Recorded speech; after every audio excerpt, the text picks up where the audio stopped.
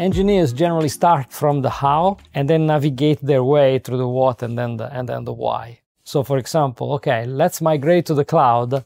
What are we going to do with the cloud and why is kind of the last uh, uh, question. And the transition is really to kind of reverse that and to have engineers actually first and foremost uh, ask themselves the question of why.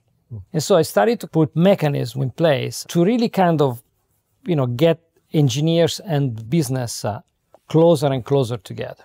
And the point of conjunction between these two cultures is really the client. So when you start thinking client, then all of a sudden you kind of think, uh, okay, what problems does the client have? What are the opportunities? And you know, and then you kind of work backwards from that. Mm. That focus almost changes the profession of the engineer from someone that, in a way, is at the receiving end of a set of uh, instructions or specification to someone that actually sits at the table and and uh, and determines uh, you know what's the art of the possible. Culture does take a while to, to percolate down through an organization particularly a large organization and the world is moving pretty fast out there. How have you tried to kind of speed up that process and really kind of deliver that change a little bit faster? Is there anything that you've worked on to make that happen you know, I write an email to all engineers about every two weeks, and one of the very first emails that I wrote uh, was uh, the difference between speed and velocity. And the difference between speed and velocity is essentially think about velocity being speed with a vector that is aligned. And speed itself might not be necessarily a good thing. Velocity definitely is. And so sustained speed is what I, what I mean by velocity. That means that uh, in some cases it might actually take a, a bit longer to get started with the project because I actually want people to write it down and go through the working backwards process and so forth. But then if you look at the entirety of the time from idea to delivery is actually shorter because once you have a clear mental model of what you have to build and why and what are the functional and non-functional specifications and uh, you know and then you know that that's aligned all the way through with with the with actually what the client needs then at that point uh, you're kind of starting to go with tailwinds that are actually kind of uh, you know and, and end up speeding up uh, your process so i think for me really creating this uh, clarity was the biggest accelerant of, of the process okay. the other thing that is like you know probably hinting at this is uh, banks are not generally known for uh, you know hyper speed although I've seen a lot of examples of hyperspeed uh, in, uh, in, in, Goldman and other places. But how do you do that in a regulated environment is a question that, uh, you know, of course I had to deal with, okay? And so, I mean, what I have in my mind is like, you know, the concept of the efficient frontier in, uh, in, in, portfolio management, which is that you're kind of trying to find what, navigate this frontier between your gains and the risk that you're taking, okay?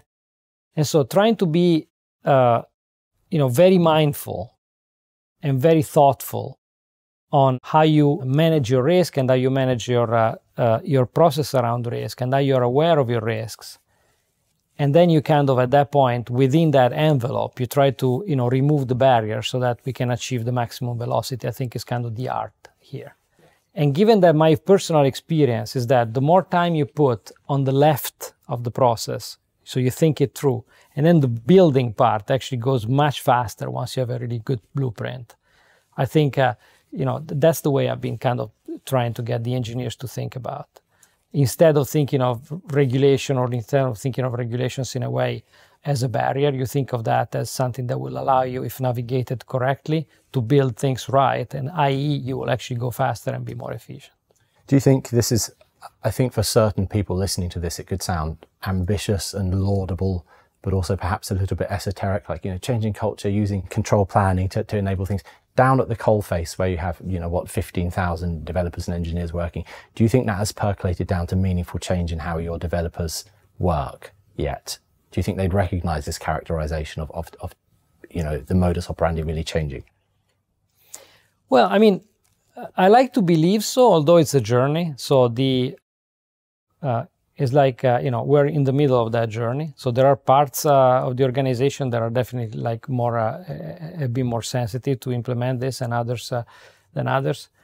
But then if i look at the facts the way we actually look at execution overall and the monitoring with regards to speed of delivery number of defects number of incidents number of failed deployments amount of technical debt that we've been reducing. So we have a tremendous apparatus of KPIs and metrics. In fact, one of the things that we do is strive to operate our business in full transparency and almost in real time. So we have these weekly engineering leadership uh, meetings and, and, and operational meetings where we track a very robust number of delivery KPIs. Yeah. Um, and uh, we hold people accountable for those. We track our flagship projects uh, in a very granular way against uh, you know weekly against their, uh, their their their execution and risk using you know two by two matrices of risk uh, uh, versus headwinds and tailwinds and what is the kind of status of each of the projects. And if you look at all those metrics, you can kind of see like the health of the organization that is uh, that is uh, progressing. You see projects that are first of all tracked, hmm. and then they're tracked. Uh, you know, they become more and more uh, on time and on budget. And then you look at technical debt that gets reduced uh, further and further. You see cloud migration that is progressing. You see data that is organized and modeled in a way that is consistent across the firm, and so on and so forth. So I tell you that we went really, really quickly from theory to practice. And in fact, this other tenet that we have, uh, which is lead with data, it's something that uh, has been the way we kind of, in a way, create this ground truth that will allow us to understand if the culture is actually changing. Let's just pick up on the technology debt side of things a little bit, and perhaps I'm not sure if you're able to share a couple of, of examples of, you know, maybe priorities for you over the next 12 to 24 months in terms of whether that's on the infrastructure side yeah. or the application side. Are there any key focuses for you mm-hmm. in the moment to kind of push projects yeah. through? So one of the very first things that I said was we celebrate retirement of technical debt the same way as we celebrate release of a new project, and that changes everything because then people actually want to do that. Because if you get no rewards and no incentives to actually do the work that nobody else, everybody wants to do the shiny thing, okay? But guess what?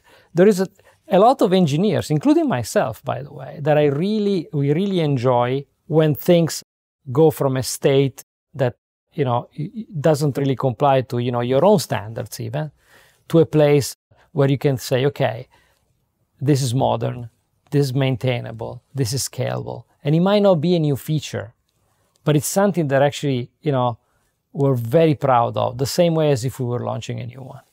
And so back to that, the first step of, of reducing technical debt, first of all, is again to change the culture around technical debt. So you celebrate it. The second one is to pick your battles. Prioritization in retirement of technical debt is the thing. You need to triage all the time because the biggest mistake that people do when they come in into you know an environment that has technical debt is to try to fix everything. There are, you know, you need to put them in a risk matrix that says, okay, yes, it's legacy, but for example, is it operationally sound? And then you start from, okay, maybe it's legacy and not operationally sound. And then you go from, uh, you know, and you kind of navigate that. And so prioritize, prioritize, prioritize. That's the second point. The third point is one of the most difficult part to protect the budget around retirement of technical debt because obviously one of the instincts uh, of the business is obviously to kind of you know forget about technical debt and let's actually push stuff that will drive more revenue okay and i have to say that uh, that was also a little bit of a cultural shift where uh, you know even recently like you know we we hear like our top leaders actually even talking about the importance of retiring technical debt because everybody realizes that it's so important to to to, to get to you know a modern scalable and maintainable infrastructure and robust infrastructure. And one of the things that you know we historically have done is to build a lot of software in house which we continue to do. But you know one of the tenets that i kind of pushed for at the beginning was that you need before you build uh, make sure that there isn't someone out there that would actually do it for you mm. so there has been a shift towards using you know vendor products or open source products for everything that is not uh, creating unique intellectual property or unique differentiation for us and so when i talk about uh, we built uh, 10 platforms i have to say that pretty much in every single case we made use of a mix of managed services uh, uh, open source software, etc. But those products you cannot just take them uh, as is and put them to work in a you know in a in an environment like ours or any uh, environment of our complexity in a way. And so we had to build uh, a lot of software around them to implement our controls, to implement our observability, to make them work uh, you know within our environment. And so it's kind of you know, building the glue and building the right set of controls and building the right set of technology around it.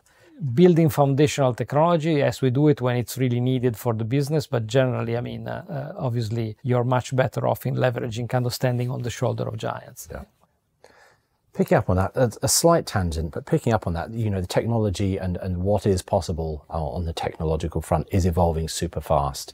And perhaps it's not your job as a, a CIO or an engineer of your stature now to be tracking that, but how do you stay on top of the art of the possible there with technology, and how do you make sure that your teams are really perhaps keeping an open mind to some of the emerging technology coming yeah, through? It's a great question. So, other than reading the stack, the answer is you need to be talking to people. If you're just completely internally focused, then it can become an echo chamber. And so I personally like, uh, and I tell also my team, and uh, we also invite people. Like recently, we had. Uh, a partner meeting where I invited multiple, like, you know, voices from the outside.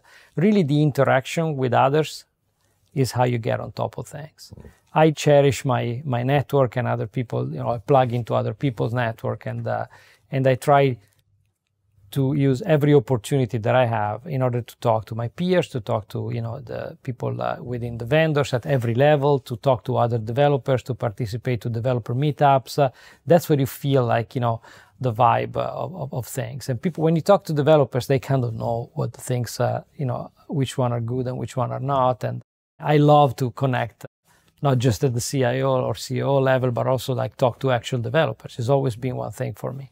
Being in touch with the developer community is probably like, uh, you know, the recipe that has been working for me throughout my career for sure.